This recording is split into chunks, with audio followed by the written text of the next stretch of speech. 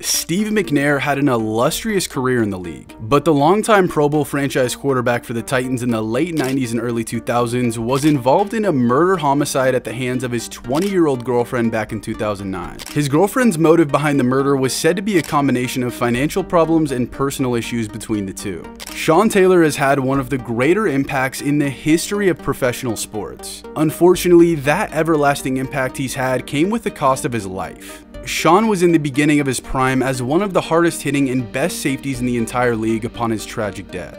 Another man whose impact on the world came with the cost of his life was NFL Hall of Famer Junior Seau. Seau's death was caused by suicide, which was then linked to his brain having CTE, a common brain disease developed by repeated significant blows to the head. Since then, there's been a ton of research done around CTE, and the NFL has made drastic improvements for things like this to be less likely to happen.